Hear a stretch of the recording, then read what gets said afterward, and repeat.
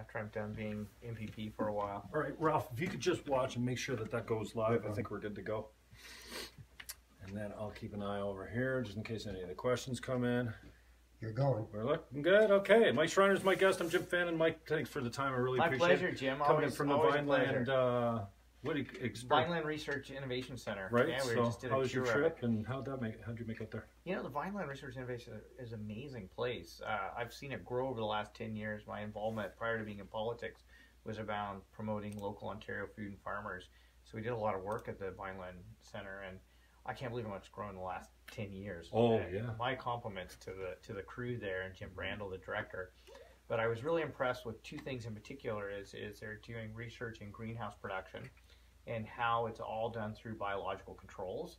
So no pesticides, no chemicals, all natural, uh, all natural pest control. I was very impressed with that, uh, and doing a big focus on uh, getting Ontario product to market in ways that uh, consumers want, and flavor profile and growing practices. And then they also had a very interesting uh, work on robotics, and particularly in areas that are very highly labor intensive, and maybe not the kind of work most people want to do.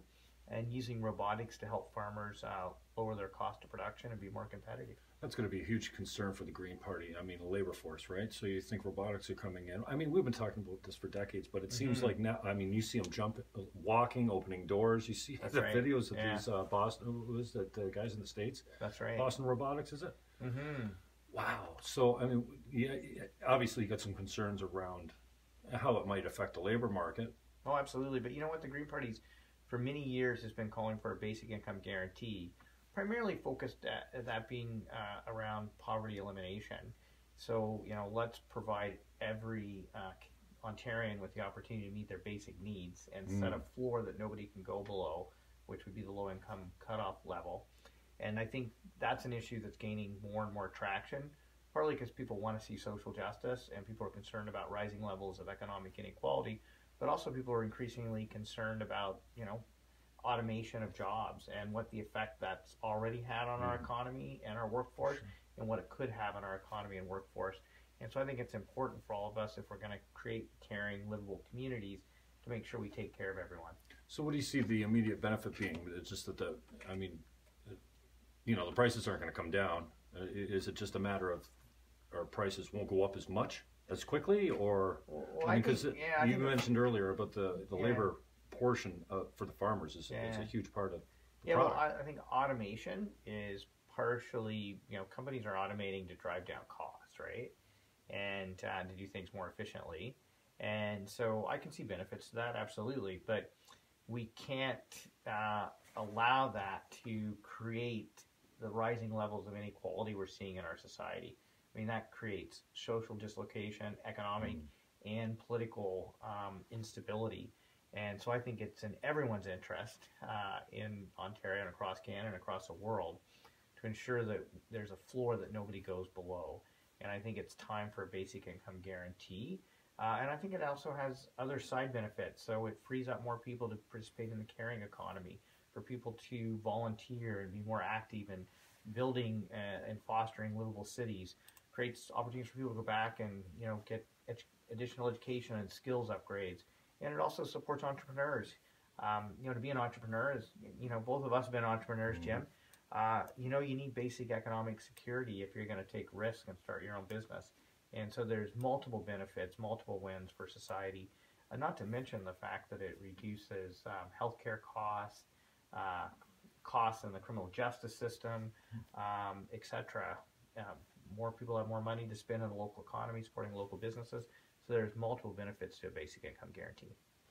Mike Schreiner's my guest. He's the leader of the Green Party of Ontario. What's uh, have, you got three key planks or five key? I mean, it seems to be the politics, especially. I don't know. Maybe it's the conservatives. Maybe everyone subscribes to this uh, tactic, but it seems like if you if you you have to have a significant platform. But if you don't have three points that you're hammering, hammering, hammering all the, or five points, as it were, uh, you know, it, is that are you taking that style this time around? So Jim, right now we're on a Green Vision tour.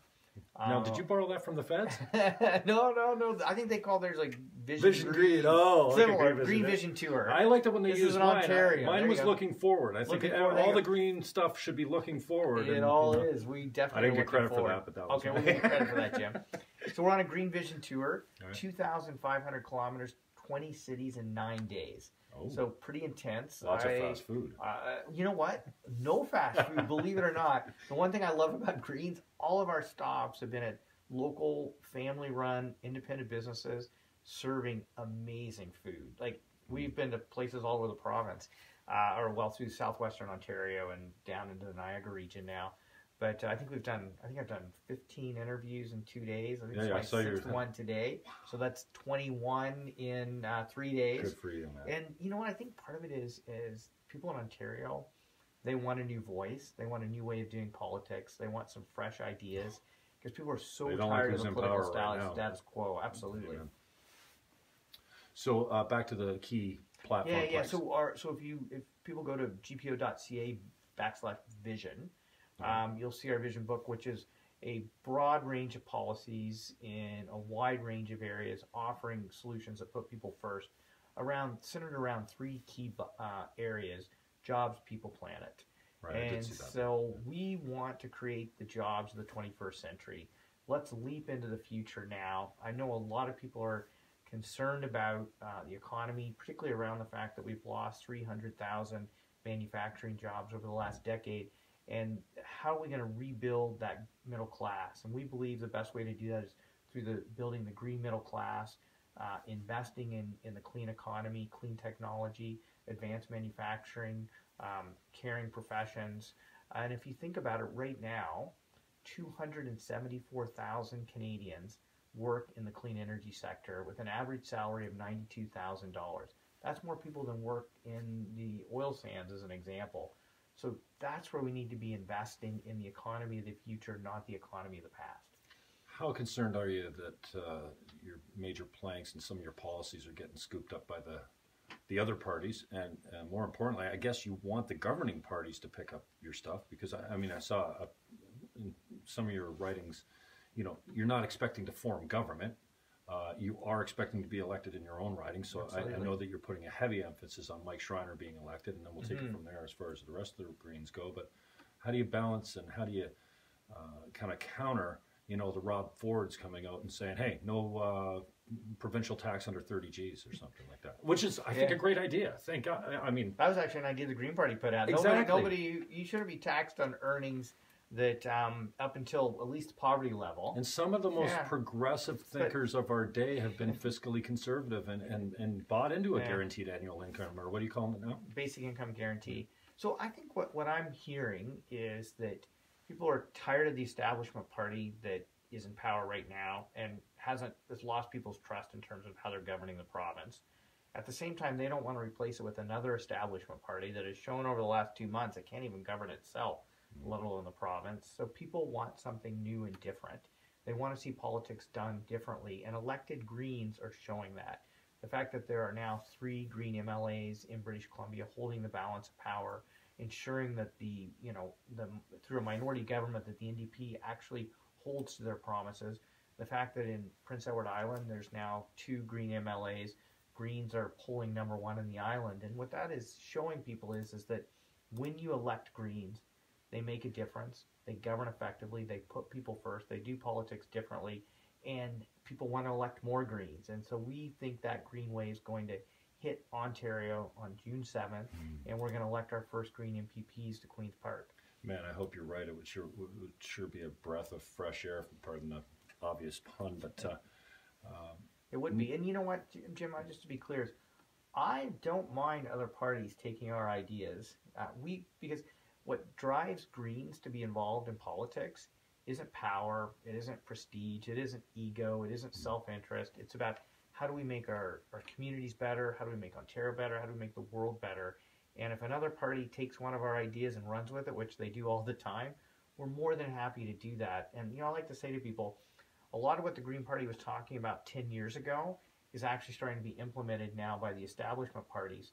So if you don't want to have to wait 10 years to actually have the future you want, start voting green right now. You can have that future today. You're on script, man. I love it. You're polished. I love it. Uh, Mike Schreiner is my guest, obviously. If you're watching on Facebook Live, you can chime in with some questions. Um, Mike, uh, tell me about the Democratic plank.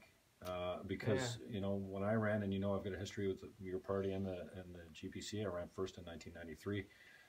Man, I didn't know anything about anything in politics. I was green as green could be, and that's you know Vesna was kind of helping recruit people. Mm-hmm.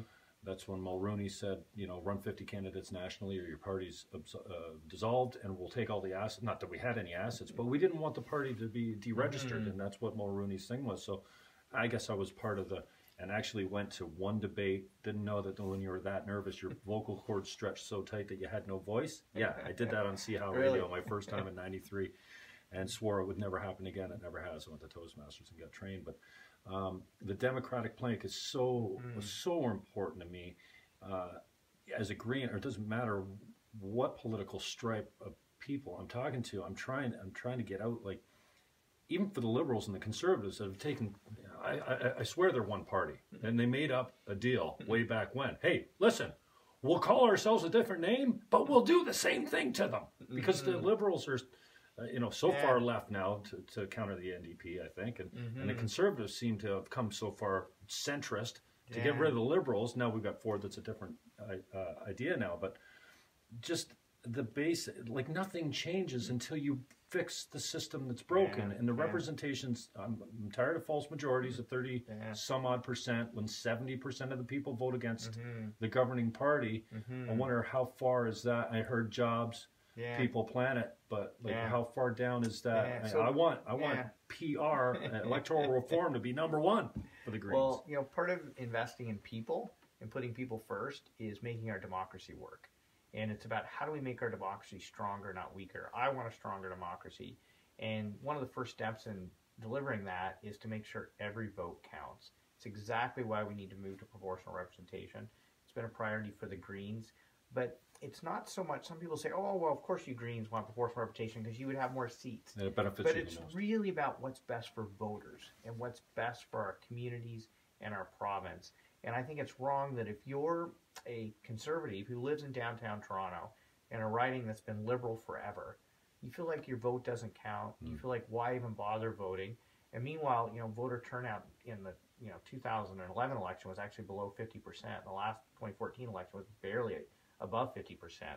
And then you start getting situations where 38% of the people vote for one party and they get 100% of the power and can essentially act like an elected dictator.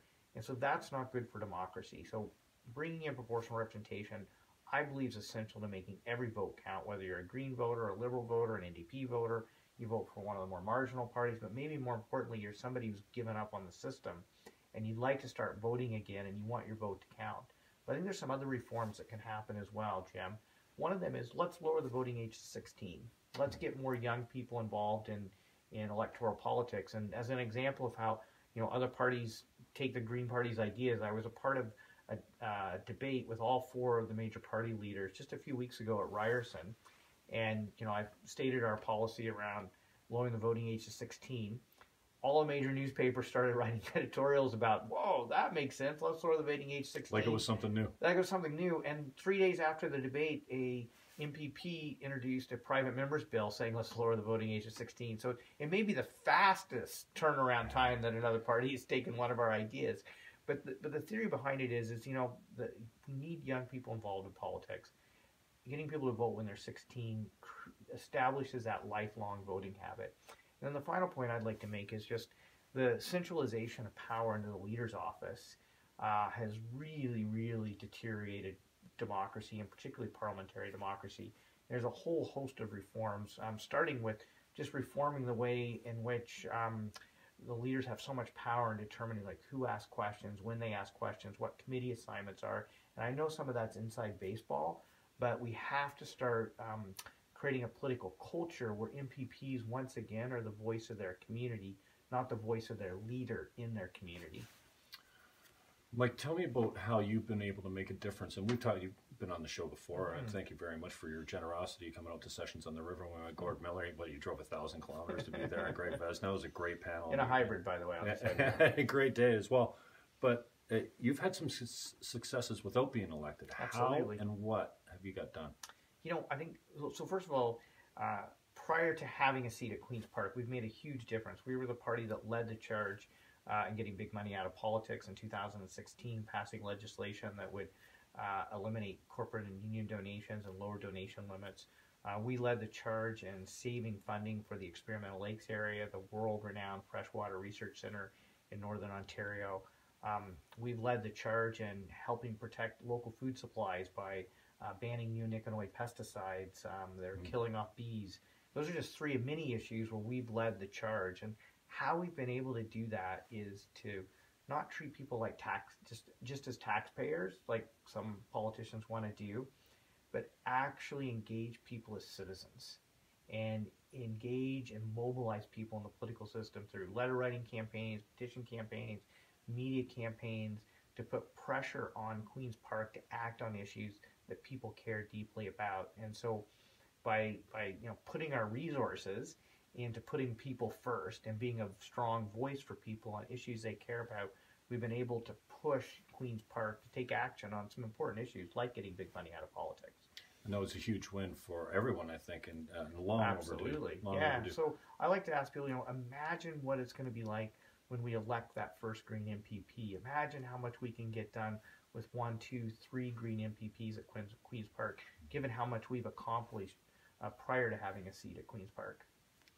Mike Schreiner is my guest. Mike, uh, I saw you nominated a candidate in Niagara West Glanbrook. That's right. She's yes. 18 years old, Yeah. and that's great. You Tillman. love to see youth engaged, and Mhm. I, I was engaged pretty young as well, as far as getting um, my name on the ballot Yeah.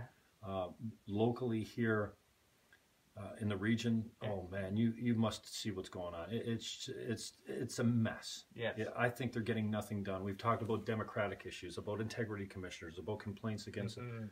it, no work's getting done. And I Mhm. really think that the quality of candidate is key here. Mhm. Uh, many of these people see this eighteen thousand dollars that they're getting out of the region is, is like a paycheck, Mhm. and and many of them aren't passionate about politics. Don't read all the reports and, and delve into attend the committee meetings and all that Mhm. kind of stuff. So. How do you answer the question? You know, the Greens have always had this problem because, well, Mhm. I mean, you know, it, hasn't been easy to recruit the star candidate. Mhm. They seem to Mhm. go to the big parties. So, Mhm. how do you balance the fact that yeah you're young and you're completely green and inexperienced and, and balance that with you know bringing in some fresh ideas and whatnot like how do you answer the question that Yeah. you know uh, we need to attract a, a better quality candidate Well, first of all, we're incredibly excited by the quality of candidates we're attracting. We'll be running a full slate of candidates across the province, uh, and we're on target to have our full slate in place. We've also set a goal for ourselves to have 50% of our candidates be women. We'd like to see more women in politics. We're on goal to hit that target. And we've set a target for 10% of our candidates to be young candidates like Jessica because we want to have more um, young candidates involved in more young people involved in politics. I think it's going to be interesting because she's in um, uh, Sam Oosterhoff's riding, so you're going to have okay two very young young candidates competing against each other, and I think it's fantastic. Um, but we have candidates of all ages. You know, we have Karen Fraser at Niagara Center, who you know is a longtime community activist. Colin Reese right here in St. Catharines, Joe Diaz in, in Niagara uh, as well. And so um, we're excited about the quality of candidates across the province. Uh, we think there's a number of ridings where we have an opportunity to win, and so it, with our number one goal being elect the leader in Guelph because we want to establish that base, like was happened in New Brunswick with the election of their leader, PEI with the election of the Green leader, and BC with the election of the Green leader, that then led to other Greens being elected in the following elections.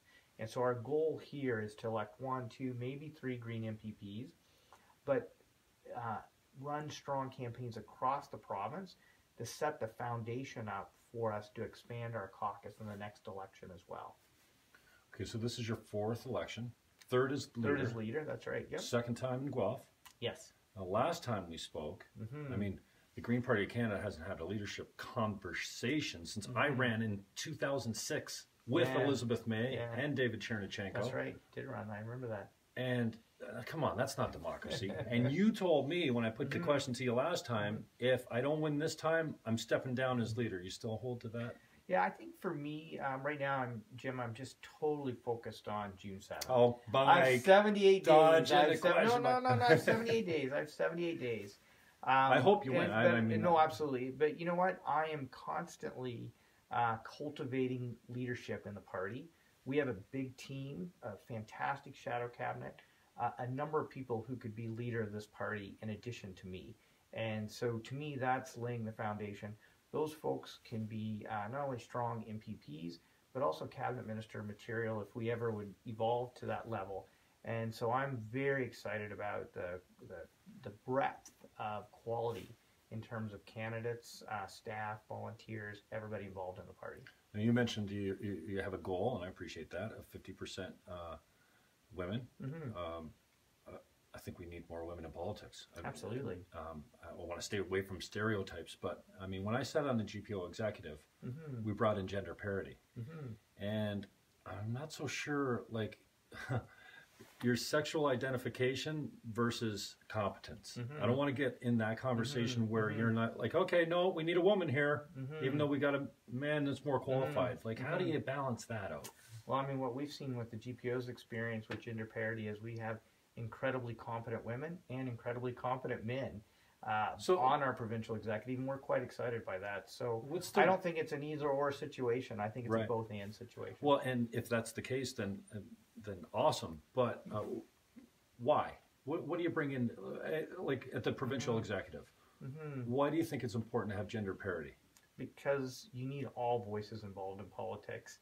And I think it's important not only to have um, gender diversity, you have racial and ethnic and religious diversity, you have diversity of ages, uh, and diversity of uh, regions. Uh, so people who come from rural regions, people who come from urban regions, people who come from the north, come from the south. Uh, all those different perspectives strengthen the party because Isn't there's that- a number of issues that people look at based on their different experiences in life Mm, and that's how point. we create an inclusive, broad uh, platform that speaks to all Ontarians. And I'm very proud of the Green Party's approach uh, t- to putting forward faces, voices, and ideas that will speak to everyone in Ontario. And I appreciate that. And, and there's a point. To, I like to think that I see both sides of everything, but Mhm, isn't that just absolutely. more of reinforcing the old stereotype that we need women there because all women think the same and their experiences are different, and we need that all. experience there? That's exactly why we have women of all backgrounds, uh, different parts of the province, different ages, uh, because I think to, to make a stronger party and to be a stronger province, it's important to have people from a variety of life experiences uh, to be a part of the conversation. Mike Schreiner is my guest, and to Carol, yes, we will have better audio on an uploaded version later. We're just doing it on the Facebook live feed right now off the phone. So uh, we got a bunch of people that have come in here, but uh, Carol was just saying the audio is not good. You need a lapel uh, mic. So yeah, it, uh, we have a better version uh, going up on the YouTube channel later. Uh, Mike, talk to me about how you climbed this hill. I know you're about Mhm. what a thousand votes at a third place last time in Guelph. This is your second time uh, running in Guelph. I I know you know we've talked about the idea that you know the GPC, the Green Party of Canada, is kind of they funneled all their resources into Elizabeth May's riding, and and frankly, if she didn't win, the party would be broke and not have a, Mhm. an elected MP. So you said you're kind of doing that, but you're not, Mhm. you know, you know, putting all your eggs in one basket. But Mhm. you're a thousand votes at a first. You're two thousand. Well, uh, would you say uh, you have to double your vote to actually win based on last time's numbers? Like those are some big hills. How do you think? Yeah, you so What are your I'm very chances of accomplishing that? I'm very con- so. First of all, we're putting resources into campaigns across the province. More resources in in local campaigns than we ever have in the history of the Now, are you concentrating on on ridings and candidates that you think can win? well, absolutely, but we're supporting all candidates. That makes sense. and I the mean, party has more resources than it's ever had before. Like our fundraising numbers are at record levels, our volunteer numbers, our Really? membership numbers, everything's at record levels. We have more support for the party than we've ever had before. That's going to benefit candidates across the province. We're also being very honest with people. I believe deeply in honesty in politics. Yeah. We are targeting. That always doesn't always help you out at the ballot box when you're that honest with people. Well, you know what? huh? I'm going to give you a story about that in a second. Let me answer this Okay. question first. so, um, we are strategically targeting a few writings where we feel we can break through. That's what our members have said they want us to do. Mhm. Guelph is one of those writings. I'm incredibly confident. And the reason I'm incredibly confident, we have an amazing team. We have hundreds of volunteers already out knocking on doors and campaigning. And we're in an electoral situation where people are telling me, you know what?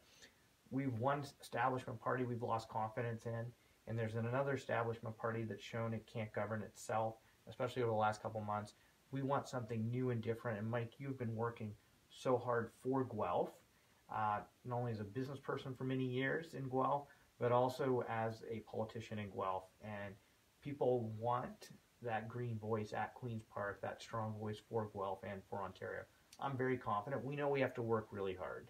And that's the one thing that I, you know, so deeply admire about Greens is the passion and the commitment, uh, the willingness to put in the hard work because we believe in what we stand for. I tell people all the time that, you know, it would have been much easier for me to get elected running for another party. There's no doubt about that. Mm-hmm. But you know what? I would much rather choose the right road than the easy road, and the right road is the green road. And so I'm I'm very confident, Jim. And then you asked me something else. I told you I would get back to you, and now I forgot what it was. Honesty. Honesty. Yeah, I want to tell you a story. the handlers are paying more attention than the, the host and the guest are. So you know, in the last election in Guelph, I was knocking on doors uh, in the south end of Guelph, and I was on a cul-de-sac, and I went up to a gentleman's. Um, he was sitting on his porch, and I'm like, I'm Mike Schreiner, you know, leader of the Green Party of Ontario. I'm running for Guelph. And he said, What's one of your best top issues? And I said, You know what? We're calling for all day two way go service to Guelph. And he's like, Oh, all politicians are calling for that. So what makes you different than everyone else? I said, We would be honest with you about how we would pay for it. All the other ones think magic money and fairy dust is going to pay for it. We're actually going to tell you how we would pay for it. And he said, Well, how would you do it? And I said, Well, we'd have congestion charges to go into Toronto. We'd have commercial parking levies in Toronto in the GTA, and we'd have land value capture uh, revenue where they build transit stops. All of that, all the experts have told us, the numerous expert panels, that would raise over $2 billion a year to help fund transit. That's how we would pay for it. And the guy said, I would never vote for you. Why would I vote for a party that's going to charge me to go to a Leafs game? And I said, I totally understand where you're coming from. And especially I, the dichotomy too between you know GTA is going to pay pay for you know, pay taxes yeah, in GTA Let for me finish this story though, Jim. so I said, and I said, I totally respect that, but I hope you respect the fact that I was honest with you. And if we don't vote for honest politicians, we're not going to have honest politics. Mm-hmm. And he said, you know what, I can't support you. Have a nice day. Okay. So I knocked on all the doors, and I it was a little circle cul-de-sac. I finished the door across from him, and he said, "Hey, green guy, come back over here." I was like, "Oh, jeez, green you know, guy, you hear that? How much how much abuse can one guy take in a, you know, a day?" But I respect voters, and I'm going to represent anyone, whether they vote for me or not. So I went back to talk to him, and he said, "You know what? I want to sign, and I'm going to vote for you." And I'm like, "Really?" I said, "What changed your mind?" He said, "I still don't like the way you're going to pay for transit, but you're right. You had the courage to stand on my porch, the courage to be honest with me, and the courage to tell me how you would pay for something you believe in. And you know what? I believe you, and you're right. If we don't mm. vote for honest politicians, we're not going to have honest politics. And I think people are ready for that. When I talk about doing politics differently, one of the key components of that is just being honest with voters and telling them exactly what you would do and how you would pay for it. And I think that's the kind of honesty and integrity that people are hungry for in politics today. I appreciate that. And uh, I did go, I think I went to your website. You said the first priorities you getting elected. Yeah. Second, being a voice for all the people of Ontario. Third, being a good par- parliamentarian, which I yeah. believe you would be. Absolutely. I mean, you've got a great reputation, and we've seen that you can do it from the outside, which is even more difficult than being elected. Absolutely. And and then the fourth is uh, build the Green Party of Ontario. But two two of the three, uh, well, there's four here, uh, mean that you need to get elected. Absolutely. Right. Absolutely. So what happens? What do you do? Should you not be elected this time around? And and let's say you stay on as leader. For the you know, first... I'm not even going to think about that until June 8th. Right. I'll be honest. Like, really. I mean, come on, Jim. It's less than 80 days to an election. I think people would be disappointed in me if I was thinking about anything other than how do we um, conduct this campaign and how do we give people in Ontario a hopeful vision of how we can create jobs that put people and planet first. That's what people expect of me. That's what I'm going to deliver. Any of these other questions, let's I'll come on on June 8th and we'll talk about them. How's that? Cool, man. I appreciate that. Um, we talked a little bit about the pendulum swinging. Mm. I mean, I think uh, I know the Green Party's been pretty left of center for a, long time. Fiscally conservative, mm-hmm. socially responsible, a little left leaning, and mm-hmm. and I even believe.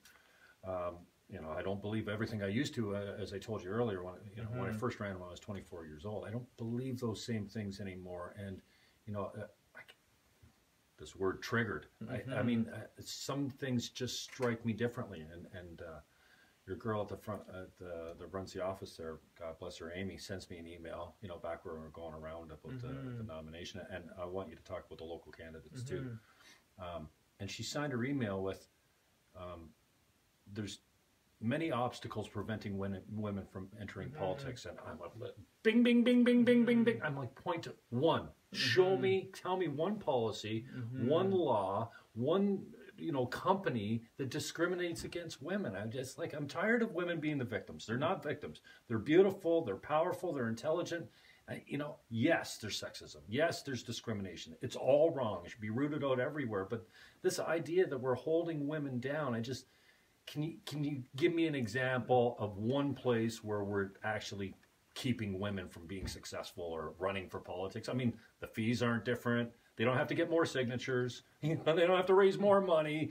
Like really, like logistically, can you can you help me out with that? I'm not trying to be a dick here, pardon the sexual reference, but you know, this is what I, I read this and I said to Amy, I said, like what? And she says, well, here's study, study, study, study. No, So I Jim- want an yeah. example. Yeah, I want so- something concrete. So Jim, uh, Canadian politics, we women are so underrepresented in Ottawa and Queens Park compared to most other OECD countries around the world. Like there are systemic barriers to women being involved in politics. And part of those barriers are the way in which politics is conducted. This sort of winner take all adversarial approach to politics. Um, the fact that, you know, men just jump right up and say, Yes, I'll be the candidate. Oftentimes women who are even more qualified step back a little bit more and need a, some additional encouragement. And and a lot of it's to remove the barriers. I think in this me too moment you know uh, you know think of some of the horror stories we're hearing about sexual misconduct both in ottawa and at queens park. All those things create barriers to women participating in politics. And so we need to remove those barriers and i actually think one of the things that would help remove those barriers is moving to proportional representation because when you have winner take all politics, you have winner take all politics, and you have the adversarial politics that um, that we see in Canada. I mean, just spend some time on Twitter and look at all the animosity, and misogyny, and attacks that happen towards people. We have to start moving away from that. I think proportional representation would start helping us move I'd away from that, that. Because it would require political parties and political adversaries to Cooperate. collaborate and cooperate with each other. So there are systemic changes we can make to the system uh, to make it more inviting for not only women but also for uh, people, new Canadians, people from visible minority groups, Indigenous people. Like we need more voices in Canadian politics.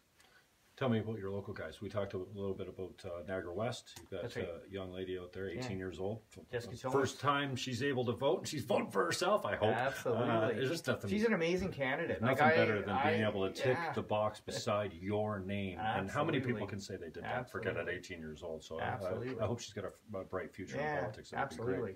Yeah, Yeah, be Karen. Fraser in Niagara Karen- Falls. I don't know the guy in St. Catharines. Uh, Colin. Colin Ryrie, he's been Yeah. very active. Um, he came up and worked on my Guelph campaign back in 2014. What's he? Is he at Brock? What's he, He do for a living? Brock. Yeah, yeah. Teacher? Yeah, he, um, uh, he, yes, yes, uh, uh, and so he's he's amazing. Like he's been very active in politics. Um, like I said, came up and worked on my Guelph campaign last time, and uh, he told me when he wanted to run for the nomination, he was like, Mike, I was so inspired campaigning in 2014, and I've done so much work helping other people run their campaigns, including your campaign. I'd like to be a candidate myself. And I was like, go for it, Colin.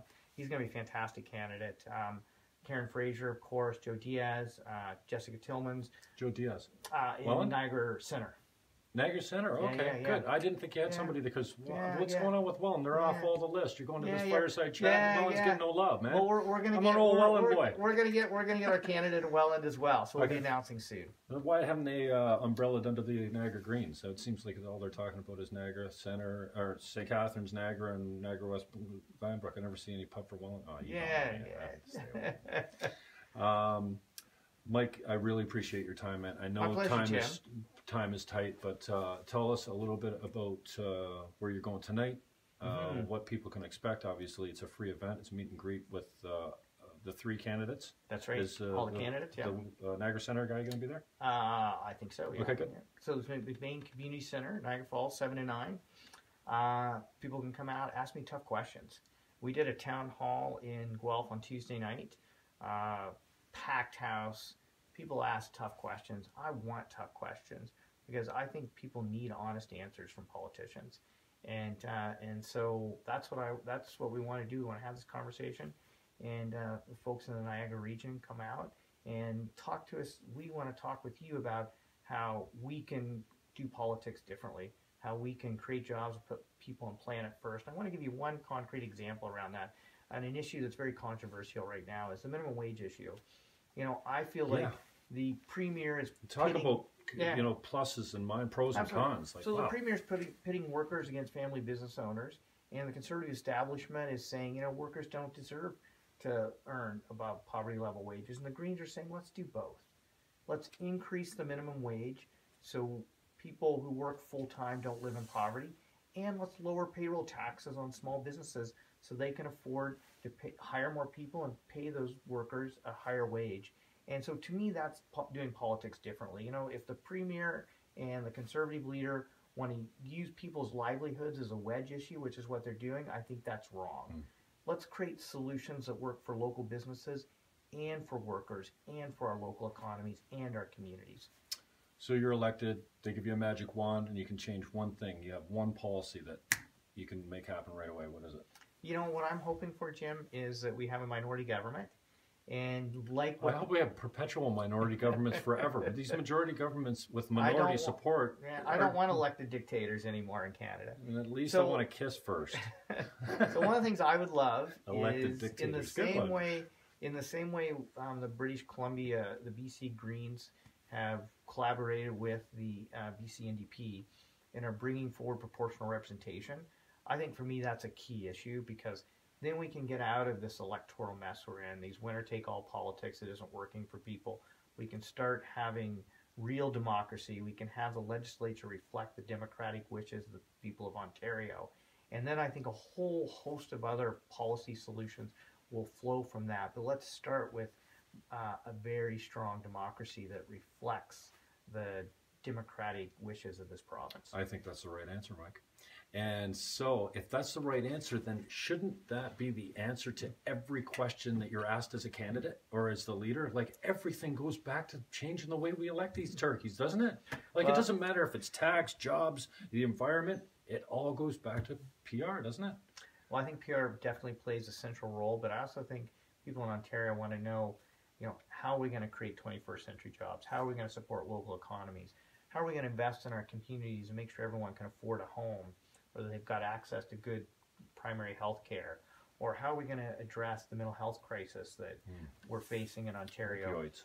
you know how are we going to how are we going to uh, protect the people and places we love by actually taking concrete action to address climate change and so our vision book addresses all of those issues and more because people in ontario i think are hungry for change they're hungry for um, honesty around the kind of solutions that can address a wide range of problems and we can show people how we can create jobs that put people on planet first and so I think it's important to have that conversation. And that's exactly why I think Green should be part of the leaders debate as an example. And one of the things I'm really proud of is there is an organization that's, that's started called fairdebates.ca, started by somebody who used to work for another political party actually, uh, who is engaged in getting support from people across the political spectrum to say we need fair debates because we need more voices in the debates to offer Great solutions point. for people. Do you know how many uh, parties are running in this provincial election? There'd be a lot. 20, there's there's like 21, I'm 21, pretty sure, yeah. registered parties. Absolutely. As the, the Democratic Green, are you going to do anything to make sure that? I mean, we we uh, obviously I got a long history Yeah. with the Greens, but uh, um, there was a time when the Greens weren't invited, That's right. and now They're still not.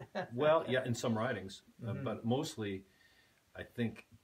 You know, the Chamber of Commerces and whatnot Mhm. have done a pretty good job at inviting the That's Greens in. But then you've got the communists, and you got That's right, you can't that's have right. them all. Well, Yeah. maybe you can have them all there, but Yeah. are you going to do anything to make sure that the smaller parties, like the parties that are just starting out, that have yeah. aren't even on the radar, are going to Yeah. get uh, their chance to stand at the lectern and, and give their policy? Yeah. So what we've been advocating for, which I think is is a good compromise, is because I understand having 21 people on stage would make it It's tough. unmanageable.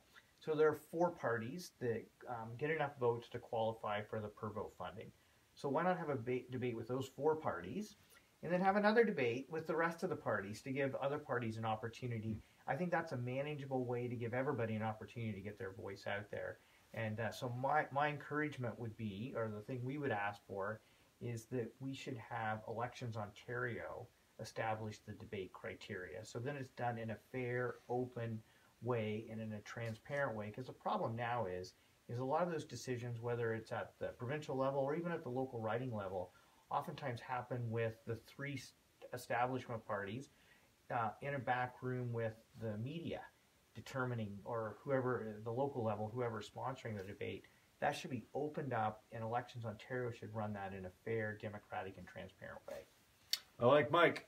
Take care, Jim. Right on 45 minutes, right? Okay, Mike, uh, join them. Consider uh, voting for the Greens. Go to gpo.ca. GPO.ca, absolutely. Uh, if you want to see the platform, it's called Green Vision. Uh, Mike's on a 20 stop tour that ends at the end of March. Um, and uh, he's running in the Guelph riding. Uh, and for anyone that was on here, sorry we didn't get to any questions. I see a lot of people logging on and asking questions. We will upload a better version that sounds better um, later on YouTube. Catch them tonight at the MacBain Center, Mm-hmm. 7 o'clock. And just a meet and greet. All the candidates will be there, including yourself. So I will be there. Happy to answer people's questions. meet and greet the candidates and meet Mike Schreiner, leader of the Green Party. I appreciate it, Mike. Thanks very much. Have a good day, Jim.